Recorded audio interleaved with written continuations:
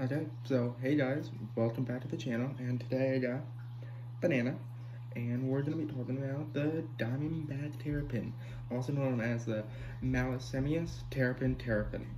So, I've had a lot of hands-on research with the Diamondback terrapin from a bunch of camps that I went to, and I also did my own research, which you can find links in the description, and uh, press the title so it works for videos.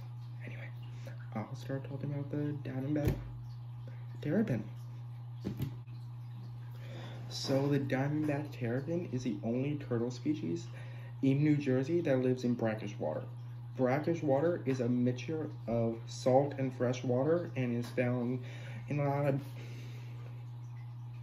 and is found in a lot of bays and areas around that. They can also inhabit salt water, but mostly inhabit brackish water for their entire lives. I'll get them in a second. They are medium-sized turtles with males being four to five and a half inches and females being six to nine inches. So now the color of the diamondback terrapin is highly varied. They normally have a gray, brown, or black carapace, which is darker than their plastron, which is their underbelly. He's making a mess. And their skin is usually a light to a dark gray, and it always has black spots on it and their habitat is brackish water in coastal salt marshes, estuaries, tidal creeks, and ditches in brackish water. So now, there are seven subspecies of the diamondback terrapin, and the only subspecies that's found in New Jersey is the northern diamondback terrapin. So there's the northern, Carolina, Florida East Coast, mangrove, ornate, Mississippi, and Texas. Those are all the subspecies, and they all have slight differences in their looks and definitely differences in where they live. So, now the diet of the diamondback terrapin. It's usually moll mollusks, crustaceans, uh, which include but are not limited to snails, fiddler crabs, mussels, blue and green crabs, marine worms, fish, and carrion. I have few pictures of food here that come up as I talk. So now up here, the northern diamondback terrapin, it gets pretty cold. So they do need to hibernate. These guys usually will hibernate at the bottom of the bay or in muddy banks. But after they hibernate, they'll usually mate. They mate in the early spring.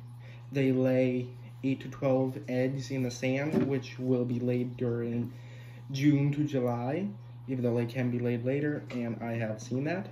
They hatch in about 61 to 104 days, and the eggs are TSD, temperature set de sets determination. So that means that depending on the temperature, the gender of the baby will change, which is pretty cool. And that's why when you do move diamondback terrapin eggs, if you do, you need to keep them in the same place and all of that. Okay, so now I'm going to talk about my work with the Diamondback Terrapins. So, over my camps, which are, we're all stationed at Island Beach State Park at this sedge camp, I have to grab them, I worked with the Diamondback Terrapin Research Project. So for that project, we collected Diamondback Terrapin eggs when they were laid on the ground. So up at the camp, they had a sandy spot for diamondback terrapin eggs, diamondback terrapins to lay their eggs. We then, once the females laid their eggs, we collected the females. We, stay here. We measured, weighed them, and then we unburied the eggs before any predators could get to them. We collected them, we measured and weighed them as well. Then we put them in a protective cage and we put them in the same order that they were laid. So the ones that were laid first and were at the bottom were still at the bottom. Because as I said, the eggs are TSD, temperature sets determined. So that means that the ones at the bottom, were, we didn't want to change the gender after they were placed. So now, after we tagged and released the female, she was off on her merry way. Didn't wasn't really bothered with us moving her eggs. And then in a few weeks, 61 to 104 days, the eggs hatch. If they hatch early enough in the year, they will be released. But certain eggs are kept, certain babies are kept back and are actually sent to schools and other programs where they take care of them for the winter and then they'll be released in the spring, which gives the babies a lot better chance of survival and just all around better. So that's all about the Diamondback Terrapin.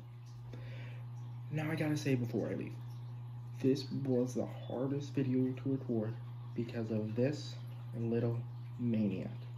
He would not stop jumping, and Banana's crazy. What can you say? Now he stays still. I'm talking about him. Anyway, so catch you guys on the next video, and you're gonna jump. We're out. Don't forget to like and subscribe for all the hard work that I put into these videos and so that I can keep creating them. Alright. Now me and Banana. See you guys on the next video.